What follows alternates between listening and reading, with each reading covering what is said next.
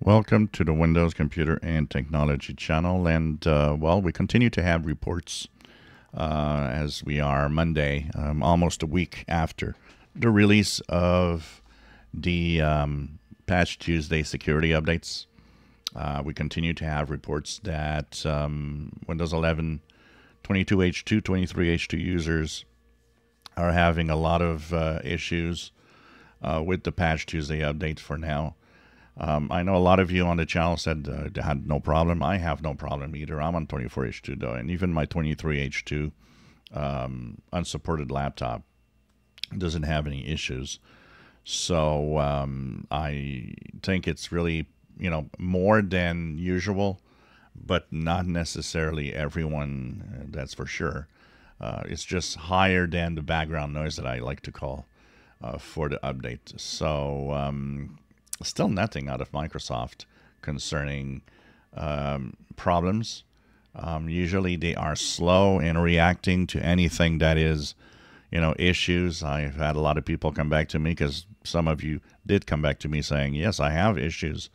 Um, I got a couple of users, of viewers that said that they have problems now with games, playing games. There's a lot of lag and and uh, it doesn't work well since that update is there.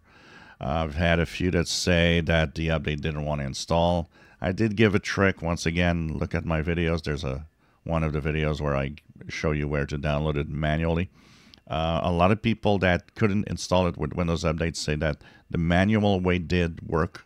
So downloading the update from the Microsoft Update catalog does work for most. Um, I did see some that say the manual uh, download didn't work either.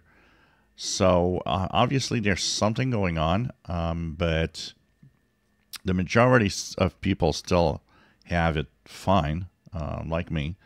Uh, but there is a higher number than usual of problems. Some uh, mentioned that they've had blue screens. Uh, I did see a couple of comments in the uh, in the comment section of people saying that they had that problem where the CPU stuck at 100% usage and the computer is like uh, really going slow because of that.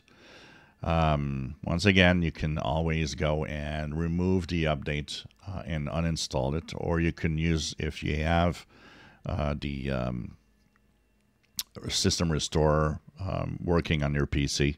You can always go back in time, system restore before the update um, and you know just put a halt on the updates if your PC is really bogged down by all of this.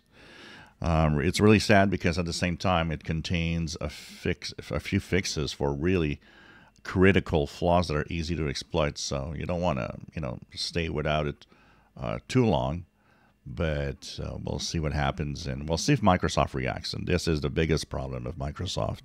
When somebody declares there's an issue, you know, unless everybody has a problem, it always takes a long time for Microsoft to acknowledge anything.